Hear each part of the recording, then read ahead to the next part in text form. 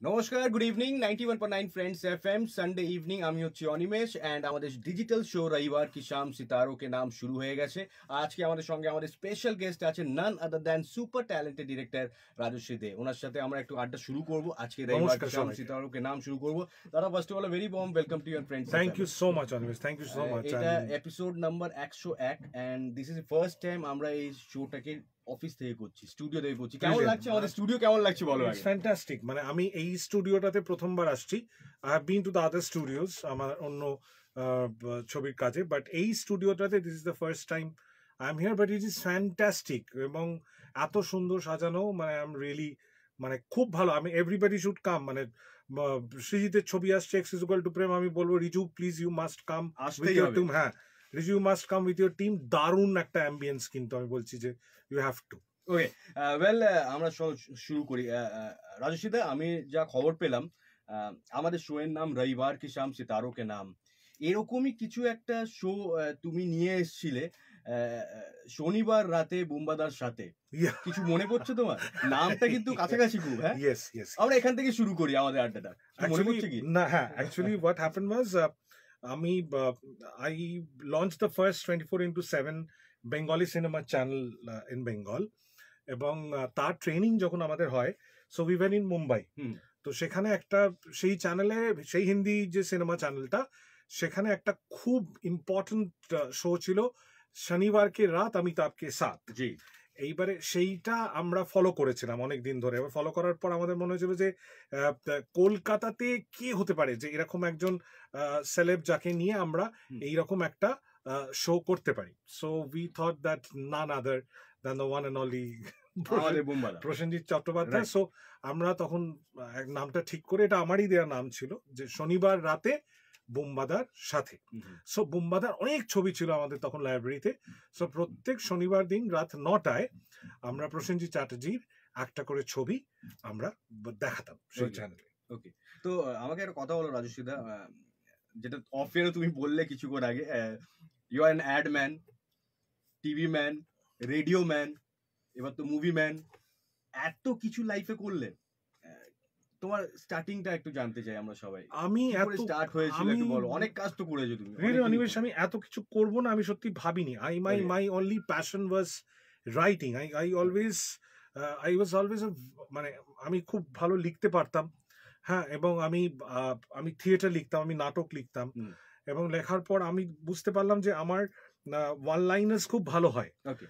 So, I joined I joined advertising in one of the uh, finest country, and I handled uh, অনেক বড় বড় clients যেগুলো আমরা এখন খাই গায়ে মাখি। হ্যাঁ এবং বাড়িতে ইউজ করি। সেরকম ক্লায়েন্টসদের বড় ক্যাম্পেন্সগুলো আমি হ্যান্ডেল করি। তো তারপরে আস্তে আস্তে তার then after that radio happened and আমি একদম যেটা হয় সেটা হচ্ছে একটা হিন্দি অ্যাটমসফিয়ার থেকে একেবারে একটা বাংলা যেটা সম্পূর্ণ বাঙালিয়ানাকে সেলিব্রেট করে হ্যাঁ। এইরকম একটা রেডিও স্টেশনে এসে পড়ি উইচ ওয়াজ লাইক আ মানে মানে থ্রি সিক্সটি ডিগ্রি অপোজিট হ্যাঁ একদম অপোজিট হ্যাঁ। দেন মানে মানে বম্বে বম্বে দিল্লি তারপরে কলকাতায় এসে বাঙালি আনা কিন্তু আই অ্যাডপ্টেড এবং আমার আমার রেডিও সাম হাউ আমাকে ভীষণ টেনেছিল এবং আমার যতগুলো কাজ আমি করেছি আমার মনে হয় যে এটা সব থেকে এক্সাইটিং একটা মিডিয়াম আমি জানি যে আমার পার্সোনালি রেডিও ভীষণ ফেভারিট ভীষণ ভীষণ মজা করে আমরা কাজ করতাম অ্যান্ড সেই রেডিও টিমটা আমাদের কাছে খুব মজার একটা টিম ছিল। সেইটা খুব ভালো। তারপরে টেলিভিশন হ্যাপেন একটা খুব এখন নাম্বার ওয়ান যে জিইসি তার পার্ট ছিলাম। তারপরে লঞ্চ সিনেমা চ্যানেল তারপরে করতে করতে এই মনে হলো যে এই সব কটা কাজই তো আমি অন্যদের জন্য করি নিজেদের জন্য তো কিছু করা হয় না। তো সেই কারণে আমি স্ক্রিপ্ট লেখা শুরু করলাম। প্রথমে আমি স্ক্রিপ্ট লিখেছিলাম। আমি আচ্ছা। কিন্তু একেবারে পরিচালনা করব এটা ভাবিনি। তো স্ক্রিপ্ট লেখার পর যখন আমি আমার অ্যাক্টরদের পড়ে শোনাতে অন্য একজন পরিচালকের ডিরেক্ট করার কথা ছিল। তো। অ্যাক্টরদের যখন আমি পড়ে শোনাতে যাই তারা তখন বলেন যে রাজু সিদা যদি ডিরেক্ট করে এত ভালো রিড করেছে। সো আমি যেহেতু থিয়েটারের ব্যাকগ্রাউন্ড আমি ভালো পড়তে পারতাম অফকোর্স তো এত ভালো রিড করেছে যে তাহলে আহ, রাজু সিদা কেন ডিরেক্ট করবে না? তো আমি আর যেহেতু আমার ডিরেক্ট ডিরেকশনের অভিজ্ঞতা হচ্ছে যে আমি যখন অ্যাড করতাম আমি প্রোডাকশনের কাজও করেছি। মানে আমি মেন আর্টিস্টদের খাবার দেওয়া থেকে শুরু করে লাইট দেখা থেকে শুরু করে ক্যামেরা পাওয়া থেকে শুরু করে কিন্তু মানে keeping in mind that I was the executive creative director of the company কিন্তু I have done all such things এবং আমার বস আমাকে এটাই শিখিয়েছিলেন। মানে আমি যখন টেলিভিশনে চাকরি করতাম। আমরা রাতের পর রাত the whole team use to sit together Nicco পার্কে আমাদের অনেক বড় বড় শোজ হয়েছে লাইভ শোজ যেগুলো আমরা হ্যান্ডেল করেছি। আমরা পুরো প্রোডাকশন টিমের সঙ্গে বসে ভোর সাড়ে চারটের সময় পুরো টিম একসঙ্গে খেয়েছি। সো ওই যে একটা টিম স্পিরিট ওটা আমার মধ্যে ভীষণভাবে ছিল এবং আমি শিখে গেছিলাম আস্তে আস্তে কাজ বা করাটা। তো সেইটাই হয় এবং সেটা ফাইনালি হ্যাপেন্ড অ্যান্ড আমার প্রথম ছবি পূর্ব পশ্চিম দক্ষিণ হয়। এবং সেটা best feature film two thousand নাইনটিনে Kalakar awards পাই এবং তারপরে আমি একটা হিন্দি ছবি করি হিন্দি শর্ট যেটা একদমই ফেস্টিভ্যালের জন্য বানানো। ইট কল সেপারেট স্কাই এটা বলে রাখা দরকার যে এই ছবিটা এখনও কোথাও আসেনি খুব শিগগিরই আসতে চলেছে। ডেভিড এন্ড গলায়াত এই ছবিটা প্রডিউস করেছেন এবং সেপারেট স্কাই হচ্ছে একমাত্র ছবি যেটা প্রায় তিপ্পান্নটা ইন্টারন্যাশনাল অ্যাওয়ার্ড পেয়েছেন ইনক্লুডিং দ্য কানস ফিনালিস্ট এটা এক ঘণ্টা দশ মিনিটের একটা ছবি। আর তারপরে এটা আমার বলতে আজকে খুব ভালো লাগছে যে একজন অবাঙালি প্রডিউসার তিনি তার নাম অক্ষত পান্ডে এবং তার স্ত্রী শিল্পী পান্ডে তারা একজন বাঙালি পরিচালকের একশো বছরকে সেলিব্রেট করবেন বলে এগিয়ে এসেছিলেন এবং আবার কাঞ্চনজঙ্ঘা হ্যাপেন্ড মানে না হলে হতো না কোনোদিনও। তারা যদি এগিয়ে না আসতেন এবং সতেরো জন অ্যাক্টার্স নিয়ে সতেরো দিন দার্জিলিং এ শুটিং করা was not a matter of joke এবং তাবর তাবর অভিনেতা মানে আবার কাঞ্চনজঙ্ঘা যারা দেখেছেন তারা জানেন যে কাদের নিয়ে শুটিংটা হয়েছে। তো it was a mammoth task কিন্তু আমাদের মানে আমরা জাস্ট প্যান্ডেমিক শেষ হয়েছে ফার্স্ট লকডাউন শেষ হয়েছে সেই সময় আমরা গেছি। ওখানে শুটিং করতে। যার ফলে না সবাই একটা মুক্তির আনন্দ নিয়ে গেছে। মানে কেউ মানে আমরা তো আর কোনোদিনও ভাবিনি যে আমরা এত শুটিং করতে পারব হ্যাঁ, কিনা। যে অ্যাকশন কাট কেউ বলবে কিনা অভিনেতারা কোনোদিনও ক্যামেরার সামনে দাঁড়াতে পারবেন কিনা এভরিথিং ওয়াজ মানে মানে ঘেটে গেছিল। তারপরে যে শুটিং হলো এবং সেটা দার্জিলিং এ হলো যার ফলে মানে দার্জিলিং এর শুটিং এর দিন যখন একটা সিন শেষ হচ্ছে কোনো অ্যাক্টারকে আর হোটেলে পাওয়া যাচ্ছে না। এই রাহুল চলে গেছে গ্লেনারিসে এই অপুদা চলে গেছে কেভেন্টার্সের ছাদে এই তনুশ্রী চলে গেছে চা কিনতে এই অর্পিতা আর বাবান দাদা নিচে চলে গেছে শপিং করতে সবাইকে ধরে ধরে ধরে ধরে নিয়ে আসবে মানে এত আনন্দ হয়েছে হ্যাঁ এবং সেটা বলার কথা নয়। তো সেইটা একটা আমার কাছে খুব খুব মানে ভালো এক্সপিরিয়েন্স এবং আবার কাঞ্চনজঙ্ঘা এই বছরের এখনও অবধি আহ, যে কটা ছবি রিলিজ করেছে তার মধ্যে অত্যন্ত সাকসেসফুল ফিল্ম আমরা প্রায় সতেরো আঠেরোটা হাউসফুল শোজ করেছি এবং খুবই দর্শক পছন্দ করেছেন এবং খুবই ইমোশনাল একটা ছবি। এরপরে যেটা আমার মনে হয় যে আমার করা সব থেকে টাফ এবং শক্ত কাজ বা শক্ত ছবি যেটা যদি আমি বলি সেটা হচ্ছে যে আমি উইলিয়াম শেক্সপিয়ারের মেকবেথকে অ্যাডাপ্ট করেছি। In a film called Maya Maya সেটা একেবারেই ওমেন এম্পাওয়ারমেন্টের জায়গা থেকে করা। এবং সেটা তো অভিনয় করেছেন রফিয়াত রশিদ মিথিলা। মিথিলা বাংলাদেশের একজন স্বনামধন্য অভিনেত্রী। মিথিলার ভারতবর্ষে এটা প্রথম চলচ্চিত্রের কাজ। মিথিলা এবং মিথিলার আরেকটা ছোট্ট পরিচয় আছে যেটা বলতেই পারি আমি ওরা দুজনেই আমার বন্ধু। মিথিলা সুজিত মুখোপাধ্যায়ের স্ত্রী এবং মিথিলার এটা প্রথম ভারতবর্ষের কাজ। এছাড়াও এই ছবিতে প্রায় উনিশ জন মানে সুপার স্ট্রং অ্যাক্টার্সরা কাজ করেছেন।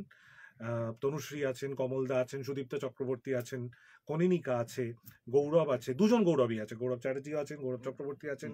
অনিন্দ আছে সায়ন্তনী আছে রিচা আছে অসীম রায় চৌধুরী আছেন সুদীপ্তা ব্যানার্জি আছেন দেবলিনা আছে রাতশ্রী আছে ঈশান আছে।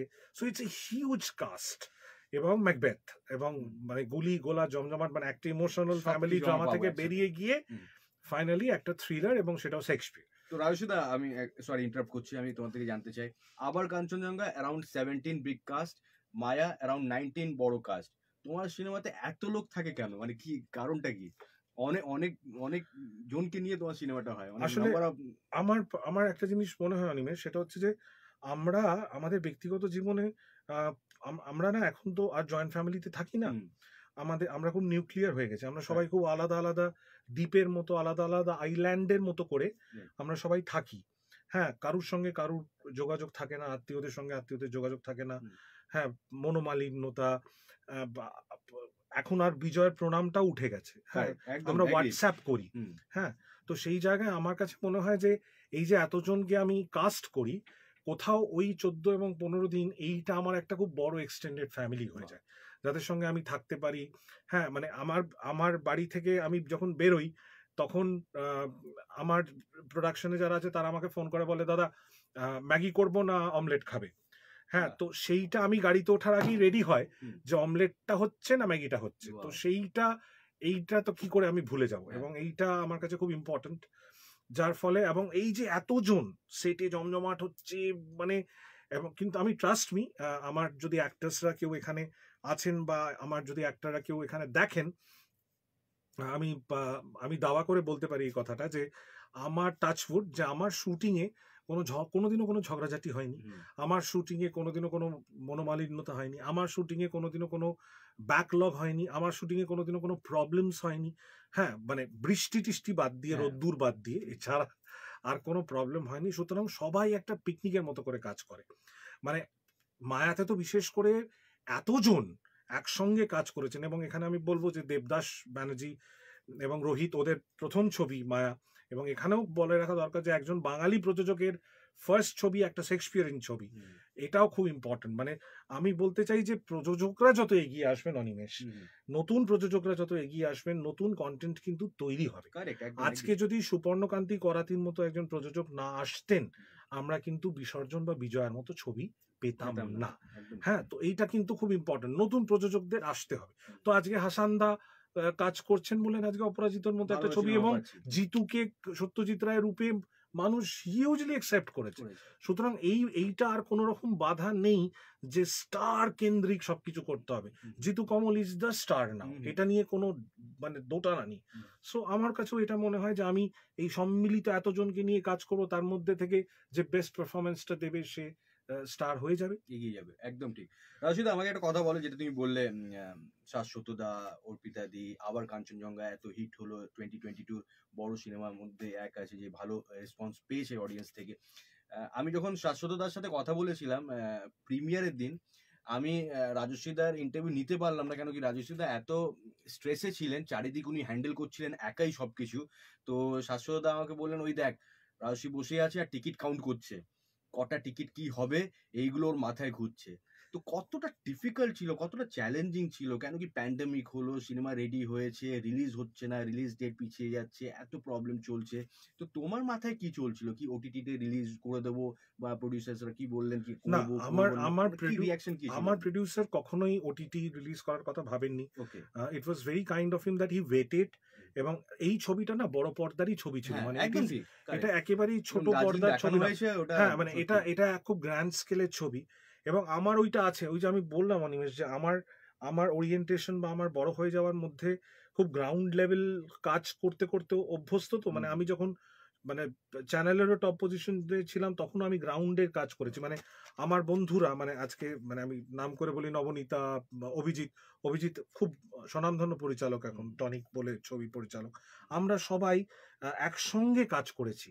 কুণাল রুষা আমরা হিমাদ্রি বাবু আমরা খুব একসঙ্গে কাজ করেছি। এই যে মানে একদম মানে একটা মানে একটা প্রোগ্রাম লিস্ট থেকে তৈরি করে আর্টিস্ট সিলেকশন থেকে তৈরি করে ফাইনালি সেইটা যখন শো হয়ে অন এয়ার হচ্ছে এই যে ছোট থেকে একদম মাইনিউট কাজ করতে করতে বড় করা এটা আমার অভ্যেসে দাঁড়িয়ে গেছে। না, আমি না ওই টিকিট রেখে দেওয়া খামে খামে খামে খামে হ্যাঁ, হ্যাঁ, হ্যাঁ, আর এটা একটা থিয়েটার ব্যাকগ্রাউন্ড যার ফলে প্রত্যেকে নামে নামে খাম।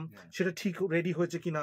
মিতাদি ছিলেন আমাদের এক্সিকিউটিভ প্রডিউসার মিতাদি ইজ ভেরি কাইন্ড তো ওই ওই খামে খামে টিকিট রেখে দেবা সবাই এসছে কিনা টাইমে এসছে কিনা যার ফলে আমি আর সেদিনকে সাজতে পারিনি। হ্যাঁ, সবাই খুব সেজে গুজে এসেছিল হ্যাঁ। হ্যাঁ তো আমি একটা টি শার্ট পরে চলে এসেছি।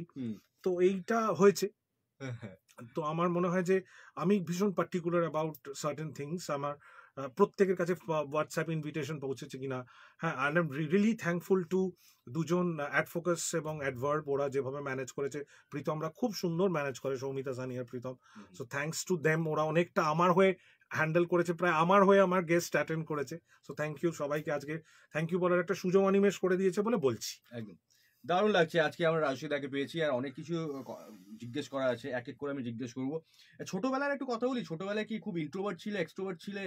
ঠিক আছে লেখা রাইটিং এগুলো তো তোমার ইন্টারেস্ট ছিল ছোটবেলা থেকে যেটা যা বুঝলাম আমি। তো ছোটবেলা কেমন ছিল? পড়াশোনা খুব স্টুডিয়াস ছিলে? আমার ছোটবেলার একটা মেজর অংশ ভারতবর্ষের একটা খুব ইম্পর্টেন্ট সিটিতে হয়েছে যেটার নাম বেনারস। ওকে হ্যাঁ এবং যার ফলে আমার ওরিয়েন্টেশনটা একদমই আলাদা। আমি একটা ডিফারেন্ট ভারতবর্ষ দেখেছি। এবং আমার যিনি ইংলিশ টিচার ছিলেন তিনি এখনও আছেন। আমি যে স্কুলে পড়তাম সেটা Sunbeam Bhagwanpur one of the best schools in Varanasi আমার ইংলিশ টিচার মৌসুমিদি মৌসুমিদি আমাকে নতুন করে দেখিয়েছিলেন অ্যাবাউট বেনারস বেনারস কি হয়। আমার টিচাররা এবং আমার চেয়ারম্যান তারা না আমার স্কুলে একটা স্পিক ম্যাকে বলে অর্গানাইজেশন ছিল। তো সেখানে তিন দিন ব্যাপী রাত্রিবেলা ক্লাসিক্যাল মিউজিকের অনুষ্ঠান হতো। আচ্ছা। তো আমি আমার পাশে দাঁড়িয়ে গিরিজা দেবী আমার পাশে দাঁড়িয়েছেন আমি ওনার গোলাপ জামুনের ভার নিয়ে দাঁড়িয়ে আছি। উনি কখন গোলাপ জামুন খাবেন। আচ্ছা। হ্যাঁ মানে আমি কিষান মহারাজের তবলা বয়েছি হ্যাঁ আমি একদিন সকালবেলা আমার এই গল্পটা আমি একটু বলি একটু ছোট্ট করে। একদিন সকালবেলা জন্মাষ্টমীর দিন খুব ভোরবেলা আমার এক বন্ধু আমাকে বাড়ি থেকে তুলতে এলো তখনও সূর্য ওঠেনি। তো আমরা গঙ্গার ঘাটে গেলাম পঞ্চাশ ষাট জন বসে আছে। তো দূর থেকে একটি লোক সাদা পাজা পাঞ্জাবি পরে মাথায় টুপি পরে আসলেন। এসে এই ওই যে গম্বুজগুলো হয় সেখানে বসে সানাই বাজালেন। এবং যতক্ষণ না সূর্য উঠছিল ততক্ষণ তিনি সানাই বাজালেন। এবং তিনি চলে গেলেন। হ্যাঁ তো সেই ভদ্রলোকের নাম ছিল বিসমিল্লা খান এবং সবাই বললেন যে হর জন্মাষ্টমীকে দিন খান সাহ কা শানাই শুননে কানাইয়া আতে হ্যাঁ এই যে বিলিফ হ্যাঁ এটা এটা মিথ না এটা বিলিফ আমি জানি না কিন্তু এই যে বিলিফ হ্যাঁ এইটা খুব ইম্পর্ট্যান্ট এবং আমার প্রডিউসার মানে আমার আবার কাঞ্চনজঙ্ঘার প্রডিউসার একজন মহিলা শিল্পী শিল্পী Akshat Pandey she is also from Uttar Pradesh তো আম- দেখেছি যে আমরা খুব রিলেট করতে পারি. মানে এই মানে আমি তো ওখানেই বড় হয়েছি তো এই রিলেট করাটা আমার কাছে খুব ইম্পর্ট্যান্ট একটা জায়গা। হ্যাঁ এবং সেই জায়গা থেকে আমার মনে হয় যে আমার বড় হওয়ার মধ্যে বেনারসের। একটা ভীষণ ভীষণ ইম্পর্ট্যান্ট ভূমিকা আছে এবং I am very very grateful that আমি ওই রকম একটা শহরে বড় হয়েছি সেইটা আমাকে খুব হেল্প করেছে এবং এই যে লেখালেখি এই যে এই যে আমি প্রচুর শুটিং দেখতে যেতাম হ্যাঁ মানে আচ্ছা। ছোটবেলা থেকে হ্যাঁ এবার শুটিং দেখতাম মানে গেলে। অভিষেক বচ্চন আসছে শুটিং হ্যাঁ, করতে হ্যাঁ। হ্যাঁ অনুরাগ কাশ্যপ আসছে শুটিং করতে নাসির উদ্দিন শাহ আসছে শুটিং আর বেনারস তো ইটসেলফ খুব শুটিং এর একটা ইম্পর্টেন্ট জায়গা। তো আমি ওই দৌড়ে দৌড়ে গিয়ে শুটিং দেখতাম। তো এইটা আমার কাছে খুব একটা এক্সাইটিং আমি কোনোদিনও যে শুটিং করব আহ, সেটা ভাবিনি। তো আমার একটা অপূর্ণ স্বাদ আছে যেটা আমি খুব তাড়াতাড়ি কমপ্লিট করতে চাই। তো আমি আকসাদকেও বলেছি এবং শিল্পী ভাবিকেও বলেছি যে আমরা এমন একটা ছবি করি যেটা আমরা বেনারসে শুটিং করতে পারব। সুতরাং যদি কোনোদিনও সম্ভব হয় I want to really shoot in Varanasi because that's that that will complete my journey as a film maker okay তো আমাকে একটা কথা বলো তারপর তোমার জার্নি শুরু হলো তারপর এতগুলো কাজ করলে আস্তে আস্তে করে সবকিছু কাজ করলে। সব থেকে কারিব কোনটা হবে? যেটা তুমি বললে রেডিও তুমি অনেক কিছু তুমি রেডিও থেকে শিখেছো রেডিও অনেকদিন কাজ করলে রেডিওতেও তো, এতগুলো কাজ টিভি রেডিও এখন সিনেমা বানাচ্ছো অ্যাড মেকিং সব কিছুই করেছ। সব থেকে চ্যালেঞ্জিং কোনটা? তোমার কি মনে হলো? এই কাজটা একদম চ্যালেঞ্জিং ছিল আমার জন্য। আমার মনে হয় যে, আমার আরেকটা সত্তা আছে, যেটা আমার কাছে সব থেকে চ্যালেঞ্জিং এবং সেটাতে আমি সব থেকে বেশি চ্যালেঞ্জ ফেস করি নিয়মিত। সেটা হচ্ছে I am also an actor মানে আমি আমি দীর্ঘদিন থিয়েটার করেছি। এবং আমার অভিনয়ে বেশ কিছু ফিচার ফিল্ম আমি সুজিতের ছবিতে অভিনয় করেছি চুন্নিদির ছবিতে অভিনয় করেছি প্রতিমের ছবিতে অভিনয় করেছি সৌমিক হালদারের ছবিতে অভিনয় করেছি সৌমিক চ্যাটার্জির ছবিতে অভিনয় করেছি সেগুলো সব হইচইতে আছে। সো আমার আমার কাছে স্টেজে অভিনয় করাটা আমার কাছে সব থেকে বড় চ্যালেঞ্জ মনে হয়। কারণ ওই যে কালো মাথাগুলো লাইভ অডিয়েন্সগুলো গুলো হ্যাঁ, ওইটা থেকে না আমি একটা অদ্ভুত এনার্জি আর ভাইভ পাই। সেই ভাইভ কখনো কখনো আমার এনার্জিটাকে ভীষণভাবে আইদার ফেলে দেয় বা তুলে দেয়। সো আমি আমাকে তখন দাঁড়িয়ে দাঁড়িয়ে কন্ট্রোল করতে হয় ওই ওই ওই যে ছশো লোক বসে আছে তাদের এনার্জিটা সো এইটা আমার মনে হয় এটা একটা ভীষণ শক্ত কাজ। এবং লাইভ সিনেমায় এটা হয় না। মঞ্চে দাঁড়িয়ে একজন অভিনেতা যখন ওই ওই অডিয়েন্সের সঙ্গে তার সংলাপ দিয়ে তার এনার্জি দিয়ে অতজনকে ধরে রাখে বা বসিয়ে রাখে রুদ্ধশ্বাস নিঃশ্বাস নিয়ে সেইটা আমার মনে হয় সব থেকে চ্যালেঞ্জিং এবং আমার আমার যে কটা কাজ আমি যা যা করেছি আমার মনে হয় যে স্টেজে অভিনয় করাটা সব থেকে বেশি সব থেকে বেশি চ্যালেঞ্জিং অনিবেশ মানে এটা যারা করেছেন তারা বুঝতে পারবেন যে এটার মধ্যে একটা অদ্ভুত অ্যাড্রেনালিন রাশ হয়। মানে this is something really really different Rashida তোমার সাথে আগেও আমার কথা হয়েছে কোথাও না কোথাও তোমার মধ্যে আমি একটা বাচ্চাকে পেয়েছি মানে দিল তো বাচ্চা হ্যায় যে যেরকম জিনিসটা আছে। টোয়েন্টি ফিফথ অফ মে তোমার জন্মদিন। হ্যাঁ আমার টোয়েন্টি ফিফথ অফ মে ব্যাস তিন দিন বাকি আছে। তিন দিন বাকি আছে তিন দিন তিন দিন পর জন্মদিন আমরা সেলিব্রেট করব। কি মনে পড়ছে? জন্মদিন জিনিসটা আগে যেরকম হতো ছোটবেলায় জন্মদিন সেলিব্রেট করতে এখন কি পার্টি এইগুলো জিনিসগুলো তোমার না গো, আমি- আলাদা ছোট্ট করে ফ্যামিলির সাথে সেলিব্রেট করা তুমি যেটা বললে যেটা হচ্ছে যে আমি খুব ইন্ট্রোভার্ট হ্যাঁ। এবং যত দিন যাচ্ছে আরও বেশি আরও introvert হয়ে যাচ্ছি। ইন্ট্রোভার্ট হয়ে যাচ্ছি। হ্যাঁ আমার একটা পিপল অ্যাভার্সন হচ্ছে আমি মানুষজনের সঙ্গে এখন বেশি আর মিশি না। ওকে হ্যাঁ সেটা মিশি না তার একটা কারণ হচ্ছে যে আমি একটু নিজের মধ্যে থাকতে ভালোবাসছি। আবার কাঞ্চনজঙ্ঘা হওয়ার পর বা মায়া হওয়ার পর একটা তো একজন ফিল্ম মেকারের তো একটা এক্সর্শন হয়। হ্যাঁ একটু রেস্টের দরকার। রেস্ট রেস্ট বলব না। মানে আমি বলছি যে হ্যাঁ, একটা ক্রিয়েটিভ হ্যাঁ, করে ব্লকেজ আসে। নতুন একটা হ্যাঁ তখন মনে হয় যে নতুন একটা কাজ এবং জন্মদিন আলাদা করে আমার কাছে খুব একটা ম্যাটার কোনোদিনও করেনি। মানে আমি ওই খুব সেলিব্রেট করাটা করে পছন্দ করি। না, আমি আমরা একদম করলাম। আমি আমি তোমায় বলছি যে আমি আমার জন্মদিনের আগের দিন রাত্রিবেলা সাড়ে এগারোটায় ফোন সুইচ অফ করে দিই। একদম এবং সেটা আমি জন্মদিনের দিন খুলিও না ফোনটা হ্যাঁ। কিন্তু এবছর আমাকে খুলে রাখতে হবে। হ্যাঁ। তার কারণ হচ্ছে যে আমার সবাই মানে আমার বাড়িতে এবং আমার টিম মেম্বাররা এবং সবাই বলেছেন যে খুলে রাখতে হবে এবং আমার একজন মানুষ যে বারংবার করে একটাই কথা বলেছিলেন যে আমি সত্যি বোধহয় হাতে গোনা পাঁচজন একজন পাঁচজন ডিরেক্টরের মধ্যে একজন হতে পারি। সে সেদিনকে হয়তো জানতও না যে আমি কোনোদিনও পরিচালনা করব। কিন্তু সেই যে বিশ্বাসটা তার ছিল সেইটা আস্তে আস্তে একটা জায়গায় অ্যাচিভমেন্টের দিকে যাচ্ছে। সুতরাং তার কথা ভেবেও আমাকে জন্মদিনটা অ্যাটলিস্ট মাথায় রাখতে হবে ওয়েল বিশেষ তোমার জন্য আসা শুরু হয়ে গেছে। Niladri Roy Niladri Dey right now many happy returns of detail sir Thank you very much, Niladri. Thank you so much. আগেও তোমার জন্য খুব ভালো ভালো মেসেজ এসেছে আমি দেখছিলাম যখন আমরা কথা বলছিলাম। এনিওয়ে ওইগুলো আমরা পরে পড়ে নেব। Thank you so much guys এরকমই তোমাদের মেসেজগুলো পাঠাতে থাকো। ওয়েল রাশিদা একটা কথা বলো হ্যাঁ, আমাকে এখন এখন অনেকটা ট্রেন্ড চেঞ্জ হয়ে গেছে। প্যান্ডেমিক আমাদেরকে অনেক নতুন জিনিসগুলো শিখিয়েছে। এই ওটিটি জিনিসটা চলে এসেছে। What's your take about it এই এই যে ওটিটি এসছে নতুন ছেলেমেয়েরা কাজও পাচ্ছে ইন্ডাস্ট্রি কি এফেক্ট হচ্ছে? মাল্টিপ্লেক্স সিঙ্গেল থিয়েটার্স এগুলো কি এফেক্ট হয়েছে? তোমার সিনেমা কিছুদিন আগে রিলিজ হয়েছে। What's your take about it প্রত্যেক দিনে আমরা দেখছি ওটিটিতে নতুন নতুন কন্টেন্টস বেরোচ্ছে। দেখো আমি বিশ্বাস করি যে দুটো একেবারেই আলাদা মাধ্যম। হ্যাঁ এখন মানে আমি কেন এটা বলছি? আমি যদি খুব নাম করেই বলি ধরো আর আর আর। একটা এক হাজার কোটি টাকার ব্যবসা করেছে। সেটা তো হল থেকেই করেছে সেটা তো ওটিটি থেকে করেনি। সুতরাং হলের কন্টেন্ট হলের কন্টেন্ট ওটিটির কন্টেন্ট ওটিটির কন্টেন্ট এবার হলে যেটা হচ্ছে সেটা হচ্ছে পোস্ট প্যান্ডামিক মানুষের একটা ভয় ছিল যে আমরা যাব কি যাব না।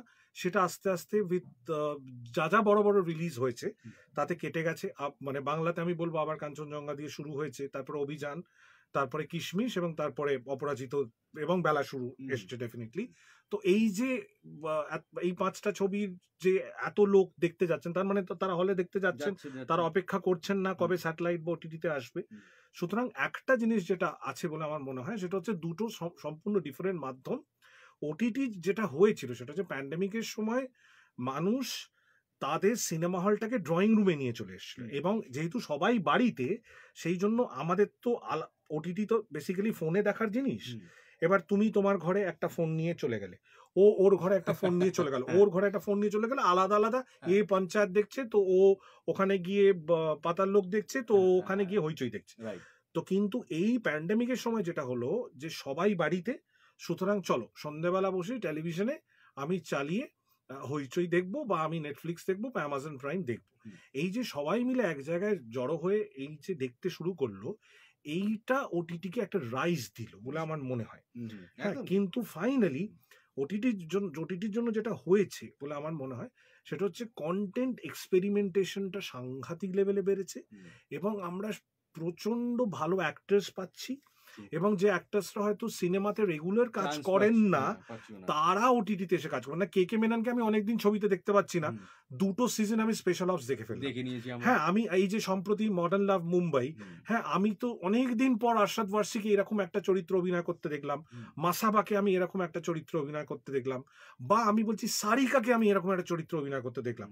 পাতার লোকে স্বস্তিকা যে এইরকম গিয়ে বাংলা থেকে গিয়ে এরকম একটা সাংঘাতিক কাজ করে ফেলবে। আমরা কি ভাবতে পেরেছিলাম। ওটিটি না হলে ভাবতে পারিনি। পাউলি গিয়ে বুলবুলে একটা দুর্দান্ত অভিনয় করে ফেলছে। হ্যাঁ এই যে ঘটছে চারিদিকে এইটা একটা খুব পরম নিয়মিত কাজ করছে। আবির এখন গিয়ে বম্বেতে কাজ করছে। যিশু ফ্যান্টাস্টিক্যালি কাজ করছে। এই যে বাংলার এত অ্যাক্টার্স গিয়ে ওটিটির মাধ্যমেই তো তারা পৌঁছচ্ছেন এতগুলো। ন্যাশনাল অডিয়েন্সের কাছে। তো এইটাও তো একটা মাধ্যম। কিন্তু দুটো এক নয়। আমার মানে সিনেমা সিনেমার মতো ওটিটি ওটিটির মতো। মানে এই দুটোকে মিলিয়ে ফেললে গন্ডগোল আছে। এই দুটো চলবে। এই দুটো চলবে। এটা প্যারালালি চলবে। মানে অনেকে বলছেন OTT is the future OTT is the future না না সিনেমা আছে। হয়ে হ্যাঁ বড় স্ক্রিন বড় স্ক্রিন হ্যাঁ, আজকের দিনে দাঁড়িয়ে ভুল ভুলাইয়া কালকে পরশুদিন রিলিজ করেছে সাড়ে চোদ্দ কোটি টাকার ব্যবসা করে ফেলেছে সিনেমা হলে ওইটা কোনোদিনও যাবে না। এইটা বলে লাভও নেই। নাহলে আর আর আর নিয়ে এই রকম উত্তেজনা হতো না। ওটিটি ওটিটির জায়গায় আছে টেলিভিশন টেলিভিশনের জায়গা থাকবে। বড় সিনে big screen. Cinema is always about বড় স্ক্রিন। এটা তো কৌশিক গাঙ্গুলির ছবিতে সিনেমাওয়ালাতে মানে পড়ান না ওইরাম করে বলে গেছে সিনেমা বিগ স্ক্রিন। ওইটা ভাঙতে পারবে না। ওইটা নিয়ে কোনো ভাঙা যাবে না ওইটা আমি মায়া নিয়ে প্রশ্ন জিজ্ঞেস করব কিন্তু তার আগে একবার আরেকবার আমার মাথায় এই প্রশ্নটা এলো দ্যাটস আমি জিজ্ঞেস করতে আবার কাঞ্চনজঙ্ঘা দার্জিলিং কবে আবার প্ল্যান করছ? প্ল্যান আছে মানে কিছু মেমোরিজ আমাদের সাথে শেয়ার করে দাও। সেই জিনিসগুলো দেখতে তুমি আবার যাবে। দার্জিলিং বলতে হ্যাঁ দার্জিলিং আমি আবার যদি আমার প্রডিউসারকে বলি আকসাদকে বলব আর শিল্পী অভিকে বলব যে আরেকটা ছবি যদি হয় দার্জিলিং এ খুব মানে খুব আমরা ফ্যানটা খুব মজা করে আমি দেখেছি দারুণ মানে পিকচারাইজেশন যা দেখিয়েছো তুমি। দারুণ লেগেছে। মানে এরকম খুব কম আমরা দেখতে পাই। সরি বলো দার্জিলিং আমি বলছি- জিনিসগুলো আমার আমি ভীষণ যেটা মিস করেছি দার্জিলিং এ সেটা হচ্ছে যে মানে মিস মানে এখন করি সেটা হচ্ছে যে আমরা যে সময়টা গেছি যেহেতু প্যান্ডেমিক জাস্ট পরে আহ, এক তো হচ্ছে যে প্রায় ছ মাস কোনো ট্যুরিস্ট না ছিল না। কোনো পলিউশন ছিল না হ্যাঁ? আমি বিশ্বাস করো অনিমেষ আমি তোমাকে একটুও বাড়ি বলছি না তুমি আমার যে কোনো অ্যাক্টরকে জিজ্ঞেস করতে পারো। আমরা মূর্তিতে একটা জায়গায় থাকতাম। আমরা যখন মূর্তি থেকে সামসিং এর দিকে যাচ্ছি আমরা তখন ওইখান থেকে কাঞ্চনজঙ্ঘা দেখতে পেতাম। এবং Wow. দার্জিলিং এ পৌঁছানোর পর মানে তোমার মনে হবে ওটা গ্রাফিক্স মানে এমন কাঞ্চনজঙ্ঘা দেখেছি অপুতা বাধ্য হয়ে বলছে বাবা এর তো ভ্যালু কমে যাবে ওকে একটু এবার থাকতে বল। মানে এরাম লেভেলে মজা করেছি। সো আমার একটা জিনিস মনে হয় সেটা হচ্ছে যে আমি আমি ওই মানে একটা খুব ভালো কথা আছে যেটা আমি আমার মানে কাঞ্চনজঙ্ঘাতে বলেছিলাম যে আমাদের শহরে অবসর সময় মানুষ মানে আমাদের শহর অবসর সময় ফুটবল খেলে আর পাহাড় অবসর সময় গান গায়। হ্যাঁ তো এইটা আমার কাছে খুব ইম্পর্টেন্ট আমি ওই নিস্তব্ধতার যে গান হ্যাঁ বা- স্তব্ধতার যে গান সেইটা আমি খুব মিস করি। আমি সাইলেন্সটা ভীষণ মিস করি। আমি এখন অনেক চুপ করে থাকতে চাই। আমি কথা বলতে আর চাই না। আমার কথা বলতে আর ইচ্ছে করছে না ভালো লাগছে না। I need to be silent for some time super okay Maya start কি করে হলো? স্টার্টিং কি করে একটু শেয়ার করবে? মায়া? মায়া খুব ইন্টারেস্টিং মায়া আমার যখন মাথায় আসে তখন মায়া আমি অ্যাপ্রোচ করি খুব ইয়াং একজন রাইটার এবং অ্যাক্টর আছেন ইপসিতা। ওর নাম লেখে এবং ইপসিতা। খুব ইন্টারেস্টিং তো ইপসিতাকে আমি বলি যে আমি এরকম এরকম ভাবছি। তো ইপসিতা একটা ড্রাফট করে ড্রাফট করার পর আমরা অনেক আলোচনা করে আমরা দুজনে মিলে ফাইনাল ড্রাফটটাকে মায়ের রেডি করি। তো ড্রাফটটা রেডি করার পর সেটা ভাবতে পারিনি যে সেটা এতটা জটিল হয়ে যাবে এবং সেটা হ্যাঁ, এতটা মানে শক্ত হয়ে যাবে। কিন্তু তো স্টার্টেড অ্যাপ্রোচিং দ্য অ্যাক্টার্স এবং আমাকে তো সবাই খুব ভালোবাসেন। এবং আমি তুমি লক্ষ্য করবে অনিমেষ আমি খুব পার্টিকুলার কিছু সেট অফ অ্যাক্টার্স নিয়েই কাজ করি। আমি তাদের বাইরে গিয়ে কাজ করি না। সো যথারীতি আমি তাদেরই অ্যাপ্রোচ করি এবং তারা তো আমাকে খুবই ভালোবাসেন। বরঞ্চ ডিরেক্টর অ্যাক্টরদের প্যাম্পার করে আমার ক্ষেত্রে উল্টোটা আমাকে অ্যাক্টররা সবসময় প্যাম্পার করে। সো তারা অবশ্যই রাজি হন এই কাজটা করার জন্য। মিথিলাকে আমি চিনতাম না। সো মিথিলাকে আমি আমার কাজ করার একটা মাধ্যম হচ্ছে আমি পুরো গল্পটা একটা অডিও বুক তৈরি করি। এটা আমি করি কলকাতাতে। সেই অডিও বুকটা তৈরি করার পর সেই অডিও বুকটা আমি পাঠাই বিভিন্ন জায়গায়। এবং সেই অডিও বুকটা ফাইনালি একটারা শুনে তাদের ভালো লাগা এবং মন্দ লাগাটাকে ডিসাইড করে। স্যার একটু ইন্টারাপ্ট করব। হ্যাঁ। আমি আপনার সাথে কাজ করতে চাই স্যার। এরকম তো প্রত্যেকদিনই মল্লিকা মল্লিকা ব্যানার্জি যা আমি দেখতে পাচ্ছি। হ্যাঁ আমিও ওনার সঙ্গে কাজ করতে চাই হ্যাঁ। এবং থ্যাংক ইউ ভেরি মাচ আপনি আমাকে বললেন যে আপনি এরকম তো প্রত্যেকদিনই পান। না প্রত্যেক দিনই পাই প্রত্যেক দিন পাই কিন্তু ওনার সঙ্গে আমার চারটে কাজ করার কথা ছিল কিন্তু চারটে কাজ সামহা হয়ে ওঠেনি তো সেটা আমার মনে হয় ফুলফিল করে দিতে হবে এবারে বা সেই সুযোগটা করে এটা করে নিতে হবে নালে এটা দোষ থেকে যাচ্ছে। দোষ দোষ কাটানোটা খুব দরকার। সুতরাং আমরা থ্যাংক ইউ থ্যাংক ইউ আচ্ছা। মল্লিকা আমরা করব কাজ। হ্যাঁ সরি বলছিলে তুমি। হ্যাঁ এইবারে হচ্ছে যে তো তারপরে যেটা হয় সেটা হচ্ছে যে মায়া আমার কাছে ওই মিথিলাকে ওইভাবে যোগাযোগ করি মিথিলা আসেন মিট করি। করার পর আমরা ডিসাইড করি যে কি এটা প্রডিউস করতে পারেন। সো আমরা যাই একজন, একজনের কাছে যিনি গান বাজনার সঙ্গে ভীষণভাবে যুক্ত, তার নিজের একটা স্টুডিও আছে। তো তিনি প্রচন্ডভাবে সাপোর্ট করেন এবং ইন্টারেস্ট দেখান দেবদাসদা এবং রোহিত। সো দে ডিসাইডেড যে, আমরা মায়া প্রডিউস করব অ্যান্ড মায়া হ্যাপেন্ড ওই রকম বড় একটা শুটিং আমরা সতেরো দিনে শেষ করেছিলাম এবং এটা অন রেকর্ড আমি বলছি। যে মিথিলা গিয়ে এটা সুজিতকে বলেছিল যে তুমি ছাড়া এই কাজটা আমি একমাত্র রাজস্বীকে দেখলাম যে এত বড় ইউনিট নিয়ে এত তাড়াতাড়ি এই কাজটা করে ফেলেছে।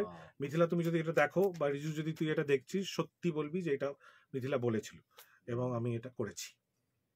চ্যালেঞ্জিং ছিল যেটা বললে এত কম টাইমে এত বড় is মানে আমার- আমার বড় সিনেমা করা। আমার কাছে সব থেকে শক্ত ছবি এখনও অবধি মায়া। তার কারণ হচ্ছে যে শেক্সপিয়ার করা ইজ ভেরি ভেরি ডিফিকাল্ট মানে সেইটা খুব সহজ কাজ নয়। তো শেক্সপিয়ার করতে গিয়ে তার এত তার সাবটেক্সট এবং সাবপ্লট এবং সেটাকে একেবারে ওমান এম্পাওয়ারমেন্টের জায়গা থেকে ফেলা প্রচুর মহিলা চরিত্র আছে এবং এবং এরাম অভিনেত্রীরা আছেন। তো সব মিলিয়ে আমার কাছে এটা ভীষণ চ্যালেঞ্জিং ছিল এবং আমার আমি আবারও বলব যে কমলেশ্বর মুখার্জি এই ছবিতে পাঠ করেছেন। আমার ওনার খুব মেজর রোল মানে যেটা ডাঙ্কানের মানে যেটা পঙ্কজ কাপুর করেছিলেন মকবুলে সেই রোলটা উনি করছেন। আমি অনেক দিন পর এইরকম একজন অভিনেতার সঙ্গে কাজ করতে পেরে আমি খুব really I am very happy যে আমি কমলদাকে নিয়ে কাজ করেছি। আর বাকিদের কথা আমি বলছি না because they are absolutely brilliant Sayantani গো ঠাকুরতা এই ছবিতে কাজ করেছে। সায়ন্তনী এই ছবিতে যা পাঠ করেছে আমি বলব যে ওকে দেখে কেউ চিনতেই পারবে না। মানে she is that brilliant Ishaan কাজ করেছে ঈশান ইজ অ্যাবসলিউটলি ব্রিলিয়েন্ট মানে চেনা অভিনেতারা তো আছেনি বাট ওদের নর্মালি তো আমরা কম কাজ করতে দেখি কিন্তু এই ছবিতে দে আর ব্রিলিয়েন্ট মানে so I I thank every one of সবাইকে আমাকে এইরকম সাপোর্ট করার জন্য বিশ্বাস করার জন্য। একটা ডিরেক্টরকে না ফাইনালি কোথাও গিয়ে ট্রাস্ট খুব দরকার পড়ে এই ট্রাস্টটা খুব ইম্পর্টেন্ট এইটা যতক্ষণ একজন অ্যাক্টর ডিরেক্টরের মধ্যে না তৈরি হয় ততক্ষণ কিন্তু সেটা স্ক্রিনে সেটা ফোটে না। মানে সেটা আবার কাঞ্চনজঙ্ঘা তো তুমি দেখেছ যে যে এই যে ইমোশনালি এতটা অ্যাটাচড হয়েছে অডিয়েন্সের সঙ্গে সেটা কোথাও একটা অ্যাক্টর ডিরেক্টরের ওই ভরসাটা ওই কেমিস্ট্রিটা ভীষণভাবে ওয়ার্ক করেছে। তোমার কি মনে হয় quality of a good director কি হয়? Mantra of a good director মান্ত্রা অফ এ গুড ডিরেক্টর মানে ডিরেক্টর ইজ বেসিক্যালি ফাইনালি গিয়ে একজন জোগাড়ে এটা আমি মনে করি। ডিরেক্টর বা ডিরেক্টর ভালো ডিওপি কে জোগাড় করেন ডিরেক্টর ভালো প্রোডাকশন ডিজাইনারকে জোগাড় করেন ডিরেক্টর ভালো মিউজিক ডিরেক্টরকে জোগাড় করেন ডিরেক্টর ভালো অ্যাক্টরকে জোগাড় করেন ডিরেক্টর ভালো স্ক্রিপ্ট রাইটারকে জোগাড় করেন ডিরেক্টর ভালো স্টাইলিস্টকে জোগাড় করেন ডিরেক্টর ভালো অ্যাসিস্ট্যান্টসকে জোগাড় করেন এবং ফাইনালি এই জোগাড়টা কতটা ভালো হচ্ছে। মানে তুমি কত ভালো জোগাড় করতে পারছ তার ওপর কিন্তু ফাইনালি তোমার ডিরেক্টোরিয়াল স্কিলস বা এবিলিটি ডিপেন্ড করে। আমি আই এম ব্লেসড যে আমার ডিরেক্টোরিয়াল টিমটা খুব স্ট্রং আমার I have a very good team তার মধ্যে একজন দুজন আর নেই বাট বাকিরা ইজ ব্রিলিয়েন্ট এবং তারা নিজেদের মতো করেও ভীষণ সফল তাদের কাজে। তাদের মধ্যে একজন আমার যে অ্যাসোসিয়েট ডিরেক্টর সে নিজেও একটা কাজ করবে ঠিক করেছে ছবির কাজ। So my team is brilliant and I am really grateful যে এরকম একটা টিম নিয়ে কাজ করতে কিন্তু ডিরেক্টর ফাইনালি কোথাও একটা গিয়ে ইজ এ জোগাড়ে। সে কতটা দূরে দেখতে পাচ্ছে। আর আরেকটা আরেকটা কোয়ালিটি যেটা আমার মনে হয় যেটা খুব ইম্পর্টেন্ট যেটা মারাদোনার ক্ষেত্রে ব্যবহার করা হতো যে আমরা ফুটবল মাঠটাকে সামনে থেকে অনেকে দেখেন। বাট একজন ডিরেক্টর ফুটবল মাঠটাকে ওপর থেকে দেখেন। হ্যাঁ তো যখন তুমি ওপর থেকে একটা মাঠ দেখছ তখন তুমি জানো তোমার প্লেয়ারের পজিশন কোথায় কোথায় আছে। যেটা এখান থেকে এগারো জন এবং ওদিকের এগারো জন গুলিয়ে যাবে। যে মোমেন্ট এটা টপ ভিউ চলে যায় তখন বাইশ জনকে তুমি পরিষ্কার দেখতে পাবে। So it it also about placement of people in a correct very area. strategic area. Very true আচ্ছা একটা আমি আমি চাইব এটা তুমি একদম ভালো করে উত্তরটা দাও। আহ, প্যান্ডেমিক হলো প্যান্ডেমিক পর সিনেমা থিয়েটার্সগুলো খুললো সিনেমা রিলিজ হওয়া শুরু হলো। যেই সিনেমাগুলো পেন্ডিং ছিল সেই সিনেমাগুলো রিলিজ হলো। প্রত্যেক সপ্তাহে প্রত্যেক উইকে আমরা দেখছি দুটো তিনটে বাংলা সিনেমা দু তিনটে হিন্দি সিনেমা রিলিজ হচ্ছে। ডু ইউ থিঙ্ক এতগুলো সিনেমা যে রিলিজ হচ্ছে দ্যাটস ওয়াই কিছু কিছু সিনেমা ভালো হওয়ার পরও ওরা বেশি কাজ করতে পারেনি বেশি ওদের রেসপন্স ওরকম পায়নি। তোমার কীরকম মনে হয়? আমার একটা জিনিস মনে হয় যেটা হচ্ছে যে হল পাওয়া নিয়ে একটা একটা অসুবিধে হচ্ছে। আমার আমার ছবি ডিস্ট্রিবিউট করেন খুব মেজর একজন distributor Shatadeep S S R cinema ওর সঙ্গে আমার প্রায়শই এটা নিয়ে ঝগড়া হয়। আহ, যে আইনক্সে যেমন পঙ্কজ দেখেন বা পিভিআর উজ্জ্বল দেখেন ওদেরও না কিছু করার নেই। তার কারণ হচ্ছে যে শো টাইম লিমিটেড। হিন্দির একটা প্রেশার থাকে। তার কারণ হচ্ছে যে হিন্দি হিন্দি যে রেভিনিউ আর্ন করে বাংলা সত্যি সেটা পারে না। কিন্তু কোথাও গিয়ে একে তো বাংলা ছবির সংখ্যা কম। তার মধ্যে যদি বাংলাকে একটু বেশি শো টাইম আমি জানি যে অনেকে বলবেন যে ডিসিআর দিলেই তো বোঝা যাবে বাংলা ছবির কত কালেকশন আরে বাবা একটা মানুষকে একটা সুযোগ দিতে হবে। আজকে আমি আমার শো বারোটায় ছিল। আবার হুম। কাঞ্চনজঙ্ঘা ফার্স্ট উইক নন্দনে। আমি দেখছি যে বিক্রি হচ্ছে না। আমি রিকোয়েস্ট করলাম অথরিটিকে যে সত্যজিৎ রায়ের একশো বছর সতেরো জন কাস্ট আপনারা একটা সুযোগ দিন। আমাকে পরের সপ্তাহে ইভিনিং হলো ছটায় and it started giving house full. So একটা তো জায়গা তৈরি করে দিতে আজকে আসা যাওয়ার মাঝে একটা শো সাউথ সিটিতে সাড়ে ছটার শো আমার এখনও মনে আছে একদিনও টিকিট পাওয়া যায়নি টানা তিন সপ্তাহ। লোকে গেছে ফিরে চলে এসছে। লোকে গেছে ফিরে চলে এসছে। তো দেখছে তো মানুষ কোথাও একটা গিয়ে হ্যাঁ হিন্দির প্রেশার চিরকাল থাকবে। তা বলে সেই সময় হ্যাঁ এবার আমি এক এক মাসে পাঁচটা বাংলা ছবি রিলিজ করে দিচ্ছি। কোথাও গিয়ে আমাদেরও সেই রেস্ট্রেন করার ক্যাপাসিটিটা থাকা দরকার সেই স্ট্র্যাটেজাইজেশনটা থাকা দরকার ডিস্ট্রিবিউশনের সঙ্গে বসা দরকার বা হলে যারা প্রোগ্রামিং দেখেন পঙ্কজ উজ্জ্বলদের সঙ্গে বসে একটা ডিসকাশন করে পুজোর হ্যাঁ পুজোর সময় ছটা বাংলা ছবি। আরে কেউই তো ব্যবসা করতে পারবে এবার কেউ যদি ধরো কারুর মনে হলো যে এটা পুজো ভিত্তিকই ছবি সে পুজোয় আর রিলিজ না করতে পারে সামনের বছর পয়লা বৈশাখে গিয়ে ছবিটা রিলিজ করছে। সেটা তো দুর্গা পুজোর ছবি সে গিয়ে ওখানে চৈত্র সেলের মধ্যে গিয়ে তার ছবি। এটা তো কেলেঙ্কারি হচ্ছে। এ তো মানে মুশকিল। এটা একটা সিরিয়াস ম্যাটার কিন্তু এটা নিয়ে ডিসকাশন করা অফকোর্স দরকার। এটা অফকোর্স এটা আমরা করছি কেন কি আমি নিজে প্রত্যেক সপ্তাহে দু তিনটে করে চারটে করে প্রিমিয়ারে যাচ্ছি। অ্যাবসলিউটলি তো অ্যাবসলিউটলি মিডিয়াকেও হ্যান্ডেল করতে খুব অসুবিধা হচ্ছে। এতগুলো প্রিমিয়ার একসাথে হচ্ছে কি করে দেখব? এক টাইমে প্রিমিয়ার হচ্ছে দুটো দুটো সিনেমার এরকম প্রবলেম ফেস করছি আমরা। এনিওয়ে হোয়াট নেক্সট রাজস্বীদা আর কি কি প্ল্যান করে রেখেছো আগে? আর কি কি আমরা প্ল্যান আমি একটা নতুন আফতারে দেখব তোমার? আমি একটা আমি তো একটা ছবি করার কথা which is an outdoor based film যেটা Okay. uh, which is about uh, uh, it's a very kind of a film সেরকম একটা ভেবেছি। আহ, সেইটা একটা করব প্ল্যান করেছি অলরেডি স্ক্রিপ্ট লেখা হচ্ছে। আহ, এবং একটা ওয়েব সিরিজ প্ল্যান হয়েছে which is for national platform যেটা খুব ইম্পর্টেন্ট অ্যাজ আ সাবজেক্ট এবং এই ধরনের সাবজেক্ট নিয়ে আগে বাংলায় বা বাংলা তো কাজ হয়নি it's it's Bangla Hindi mixed.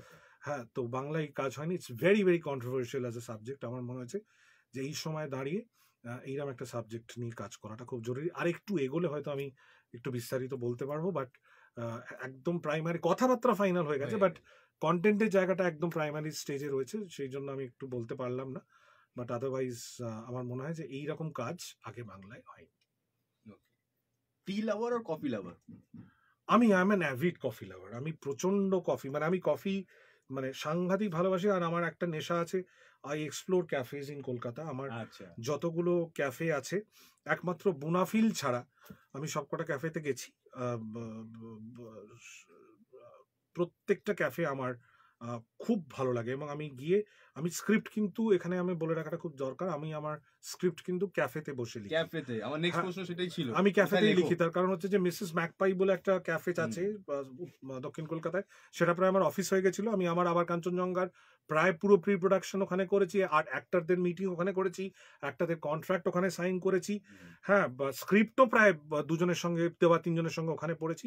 So cafe is the place where I write আমি একটা ল্যাপটপ নিয়ে তিন ঘণ্টা চার ঘণ্টা পাঁচ ঘণ্টা কারুর সঙ্গে কথা বলে না বলে আমি চুপচাপ বসে কাজ করতে পারি। So I prefer writing in a cafe মানে আমার খুব ভালো লাগে।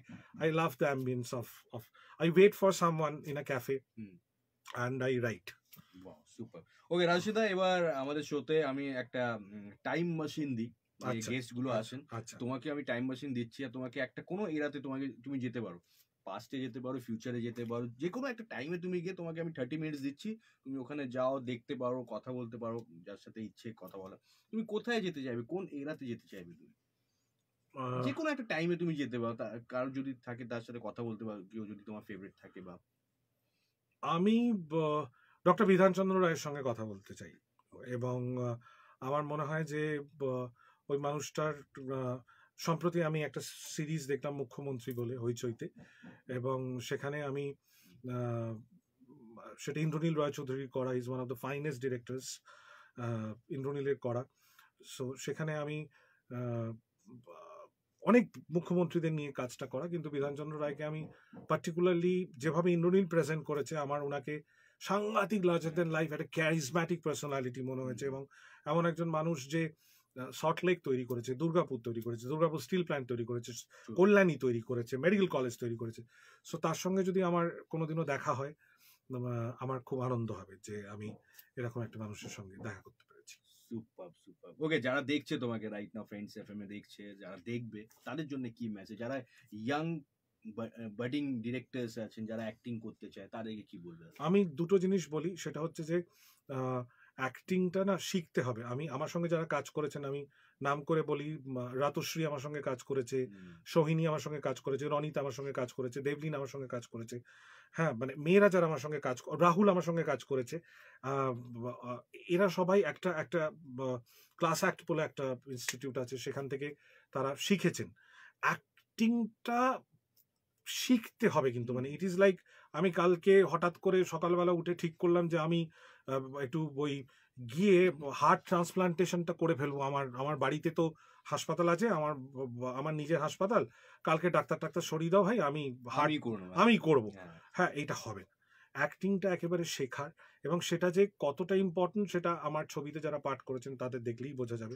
হ্যাঁ দে হ্যাভ মানে তারা ওই সিস্টেমগুলোকে যেভাবে ইনকর্পোরেট করেছেন ইট ইজ ব্রিলিয়েন্ট তো acting you have to learn there is a process of learning so আমি আমি যারা নতুন অভিনয় করতে চাই আমি তাদের প্রত্যেককে বলি যে শিখ একটু শিখতে হবে একটু ওয়ার্কশপ করা। বেসিক অফ অফ ক্যামেরার সামনে দাঁড়ানো নিজেকে গ্রুম করা। হ্যাঁ অনেকে হয়তো পরিষ্কার করে কিছু সংলাপ বলার যে প্র্যাকটিসটা। মুখস্থ করার যে অভ্যেসটা যে। কনসেন্ট্রেট করে ডায়ালগ বলতে হবে। কাট কাটলে হবে না আমাদের কাছে আর সময় থাকবে না। আমরা এনজি করা যাবে না। এই যে এই যে বিশ- এই যে বিশেষ জায়গাগুলো সেগুলোকে খুব ভালো করে যাতে পৌঁছে যায় সেইটা করা। আর আরেকটা জিনিস হচ্ছে যে শুধু এটা আমার আমার ট্রেনিং মানে আমি যখন টেলিভিশনে ছিলাম আমাকে আমার টেবিলে একটা টেলিভিশন ছিল বড় টেলিভিশন। সেই টেলিভিশনে চারটে চ্যানেল একসঙ্গে এরা- এরকম করে বক্স করেছিল চারটে বক্স ছিল। তো চারটে চ্যানেল চলতো। তো চারটে চ্যানেল সাইমালটেনিয়াসলি দেখতে হতো আমাদেরকে যে ক- চলছে কি সিরিয়াল চলছে এবং কি গল্প চলছে। আমার মনে হয় যে দেখা যা যা আছে অ্যাভেলেবল সব দেখে ফেলতে হবে এবং সব পড়ে ফেলতে হবে। যা অ্যাভেলেবল আছে সিনেমা সিরিজ মানে মানে মেক ইট হ্যাবিট যে প্রত্যেক দিন রাত্রিবেলা বা দিনের বেলা ওই রিলস না বানিয়ে হ্যাঁ এবং মোবাইলে ফিজিটিং না করে ভালো সিনেমা দেখ ভালো সিনেমা দেখতে হবে ভালো সিরিজ দেখতে হবে এবং পড়াশোনাটা খুব করতে হবে। পড়াশোনা ছাড়া কিন্তু শিক্ষা ছাড়া কিচ্ছু হবে না। মানে এইটা কিন্তু প্রাইম আমি মানে I may sound a little biased but আমি এটা বলতে চাই যে পড়াশোনাটা কিন্তু করতে হবে। মানে আজকে দিনে দাঁড়িয়ে তোমাকে জানতে হবে যে ড্যানিয়েল ডেলুইস একটা পার্টিকুলার জায়গায় বসে উনি প্রত্যেক বৃহস্পতিবার জুতো বানান। হ্যাঁ এবং জুতো বানিয়ে উনি পড়েন। মানে এটা এক্সেন্সিট মানে এক্সেন্সিটিস অফ অ্যাক্টার্সদের ওপর একটা লেখা আছে। সেখানে বলা যে সত্যি করে আমাদের অ্যাক্টাররা যে কতটা এক্সেন্ট্রিক হন হ্যাঁ সেইটার ওপরে আমাদের জানতে হবে যে চ্যাপলিন কি করতেন। হ্যাঁ সেইটা যতক্ষণ না আমরা মানে জানব আমরা তো সেই জায়গায় রিচ করতে পারব না আজকে। মানে আজকে নাসিরুদ্দিন শাহ একটা পয়েন্টে স্ট্যামার করতেন। হ্যাঁ আজকে তাকে দেখো তিনি যখন পাঠ করেন, তিনি কি পাঠটা করেন আমরা সবাই জানি। হ্যাঁ তো এইটা হচ্ছে যে মার্লিন ব্র্যান্ডো সামনে দেয়ালে সংলাপ লিখে রাখতেন। উনি মনে রাখতে পারতেন না। সেইভাবে গডফাদার হয়েছে। হ্যাঁ সেই মানে এই, এইগুলো তো ইতিহাস। মানে এইটা তো জানতে হবে। মানে এই, এইগুলো না জানলে তো অনেকটা ওই ওই যেরকম ভাবে বলেছিল ফেলুদা আর কি যে না জেনে লিখলে তো সবই উটের পাকস্থলী হয়ে যাবে। তো সেইটা হবে আর কি করব? একদম ঠিক। Thank you so much Rajashree da আমাদের সাথে কথা বলার জন্য। Thank you very much. For the success of our country Thank you very much. Luck for Maya thank you very much Animesh and it's মানে অনিমেশ ইজ আমাদের ইন্ডাস্ট্রির একজন অন্যতম. আহ, সেরা আর্জে এবং অনিমেষ আমাদের কোনো প্রিমিয়ারে না এলে আমাদের মনে হয় যে অনিমেষ আসেনি কেন? So thank you Animesh for inviting me thank you friends thank you Abhishek. নারুকে আমার ধন্যবাদ যে আমরা একসঙ্গে একটা সময় শুরু করেছিলাম আমাদের একটা journey so thank you very much Nilanjana is a very good friend of mind thank you Nilanjana. আমি আজকে ফ্রেন্ডসে এসেছি দেখা হলো না বাট আবার দেখা হবে। So I love coming to friends F M thank you very very much for having me আপনারা সবাই ভালো থাকবেন মায়া আসছে এবং আবার কাঞ্চনজঙ্ঘা খুব শিগগিরই কোনো না কোনো ওটিটি বা টেলিভিশন চ্যানেলে চলে আসবে। যারা দেখেননি তারা দেখবেন। আর আমার আমাকে জানাবেন আমার ফেসবুক পেজ বা আমার প্রোফাইলে গিয়ে যে ভালোটাও জানাবেন খুব স্যাভি আছো নাকি? ডিজিটাল আমি খুব savvy, আমি খুব আমি খুব অ্যাক্টিভ আমি খুব active I am very active in Facebook I am very active in Facebook আমি ইনস্টাগ্রামে অতটা এক অ্যাক্টিভ কিন্তু Facebook I am very active so আমার নিজের একটা প্রোফাইলও আছে যা বলার গালাগাল দেবার দেবেন কোনো অসুবিধা নেই। আমি উত্তরও দেবো আমি উত্তর দিই সবাইকে। So thank you very much আপনারা আছেন বলে আমরা আছি। আর প্লিজ রিকোয়েস্ট করছি প্যান্ডেমিক এখন অনেকটা নর্মাল স্টেজে প্লিজ হলে যান আর আমি ওরকম বাংলা ছবি পাশে দাঁড়ান বাংলা ছবি পাশে দাঁড়ান বলব না। হলে যান হলে যাওয়ার অভ্যেসটা আবার ফিরিয়ে আনুন। বাংলা হোক হিন্দি হোক বাংলা ছবি তো দেখবেনই দেখবেন হ্যাঁ। এটা তো এটা তো আমাদের এটা তো আমাদের ধর্ম দেখতেই হবে। কিন্তু হিন্দিও দেখুন এবং দেখুন যে কি কত কত ভ্যারাইট কন্টেন্টস হচ্ছে। তবে তো আমরা সাহস পাবো। আপনারা যদি এসে আমাদের বলেন যে এইটা দেখে এলাম কেন বাংলায় এরকম একটা কাজ হচ্ছে না? তখন আমাদের মনে হবে যে সত্যিও বাংলায় এরকম একটা কাজ করা দরকার। প্রযোজকদের মনে হবে যে আরেকটু বেশি টাকা দিই তাহলে এরকম একটা কাজ হতে পারে। সো আপনারাই মাধ্যম প্রযোজক এবং আমাদের মধ্যে এই যোগাযোগটা তৈরি করে দেওয়ার। So thank you very much খুব খুব ভালো থাকবেন। আর নিজেদের মানুষদের আঁকড়ে ধরে থাকুন। এই সময়টা বড় খারাপ সময়ের মধ্যে দিয়ে আমরা তিন বছর গেছি। সো চেপে ধরে একদম সবাইকে আগলে ধরে রাখুন যাতে কেউ হাত থেকে বেরিয়ে না যায়।